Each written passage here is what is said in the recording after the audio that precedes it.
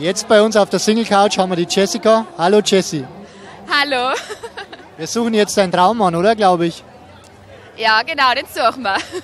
Magst du dir mal ein bisschen beschreiben, worauf er sich freuen kann, was ihn so erwartet bei dir?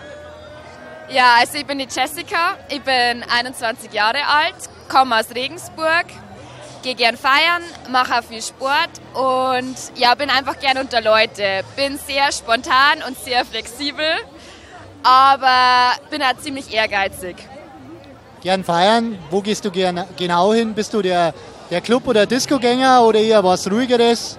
Also eigentlich eher der Bargänger und ich arbeite jetzt dann auch über der U also ich wohne über der Uber und ich arbeite jetzt dann in der Uber ab September. Also falls ihr mich in der Bar besuchen wollt, kommt in die Uber. Jetzt haben wir ein bisschen Werbung auch untergebracht. Du, sag, Genau. du sagst, du bist sehr ehrgeizig, beruflich oder auch privat oder wie definierst du das? Ja, hauptsächlich beruflich. Also ich gehe ähm, nebenbei, also ich arbeite Vollzeit bei der Firma Sennebogen in Wackersdorf, gehe nebenbei nur zur Schule, mache mein Fachwirt und will danach dual Wirtschaftspsychologie studieren. Genau. Wie sollte dein Mr. Right sein?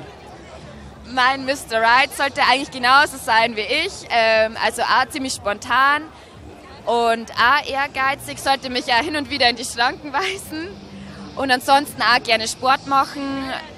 Dann soll er ein bisschen größer sein wie ich und am liebsten sollte er nur blonde Haare haben und blaue Augen. Okay. Genau. Was geht gar nicht? Was ist ein absoluter Abturner? Ein absoluter Abturner. Ja, das ist jetzt schwierig zu sagen. Also, ich würde das einfach spontan entscheiden, weil entweder das Gefühl ist einfach da oder es passt halt einfach gar nicht. Es ist schwierig zu beschreiben. Ich kann das jetzt nicht, nicht von vornherein weg sagen. Aber du glaubst an die Liebe auf den ersten Blick, wie das klingt? Ja, also entweder es passt von Anfang an oder es passt einfach gar nicht. Wenn es von Anfang an passt, wie schaut das ideal, ideale erste Date aus bei euch beiden? Also ich würde das jetzt halt nicht komplett durchgeplant haben. Ähm, wenn wir uns treffen, dann da die das einfach ganz spontan sagen, worauf dass wir beide Lust haben.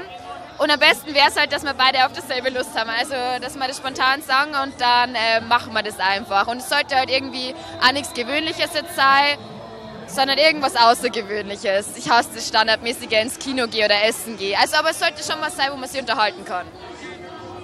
Genau. Da lasst ihr doch mit Sicherheit was finden, was man mit der Jessie machen kann, was aus der Reihe tanzt, wo man sich aber trotzdem unterhalten kann und besser kennenlernen. Männer, schreib's der Jessie, lernt sie kennen, sie ist mit Sicherheit ein liebes Mädel.